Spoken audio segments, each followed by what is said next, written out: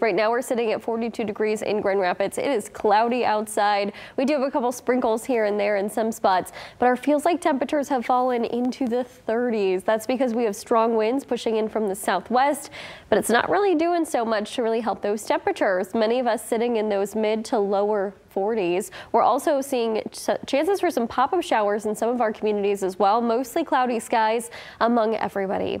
Winds are pushing out of the west at about 5 to 10 miles an hour with individual gusts that have already popped into those upper teens. So some stronger winds will be the name of the game for today as well. A lot of those rain showers off to the south are beginning to fizzle out, but we do have a couple really light spotty pop-ups in many of our central and northern communities. A low pressure system continues to basically park itself over Wisconsin which is causing this nice rotation when it comes to rain showers, which means we will continue to see some develop headed into the next couple of hours. Let's go ahead and look at the rest of our future track for you. We'll start to see them popping up within the next couple of hours. Again, very spotty, very unorganized through the rest of the day.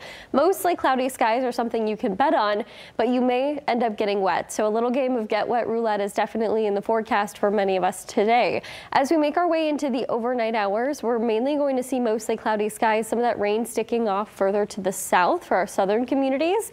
But as we head into Monday, as early as Monday morning, we'll start to see chances for flurries start to fall. Wind direction direction starts to change, moving in from the northwest at about 5 to 15 miles an hour. That will influence that colder air into our region, which then ultimately brings chances for those snow showers throughout the day. It does look like what we will end up seeing could be somewhat of a mix as well with some raindrops also integrated. So that's a good sign that will help diminish the ability for this snow to end up sticking. But to cold surfaces and grass, we may end up with a light dusting. As we move into Tuesday, we'll be left with just a couple leftover spotty snow showers and potentially some rain showers. So keep that in mind as we move through Tuesday as well. Mostly cloudy skies as we make our way through the remainder of the day. For today, high temperatures will rise to 49 degrees. Mainly cool out there, mostly cloudy skies, a little bit breezy, and then those spotty light rain showers will be pretty scattered. As we go into tonight, our low temperatures will fall into the mid to upper 30s. Couple chances for spotty showers there as well.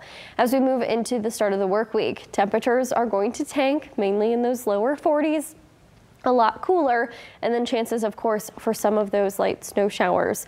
By Tuesday we're thinking that they'll last in the morning start to taper off by the afternoon and we'll be left with mostly cloudy skies. Cloud cover begins to dissipate and we'll start to see some sunshine by Wednesday. High temperatures on Wednesday are the beginning of our up and up. We'll start to see those temperatures rise mainly into the 60s by Thursday and Friday. So finally a little bit of warmth featured in our forecast. It does however look like we could see a couple evening showers when it comes to Thursday. Those will stick around as we move into Friday. Then as we round out our week headed into next weekend, we actually have not only a warming trend, but a sunnier trend. Oh, so we'll finally. finally we'll start to see some more sunshine by next weekend with high temperatures topping 67 degrees. Now with warmer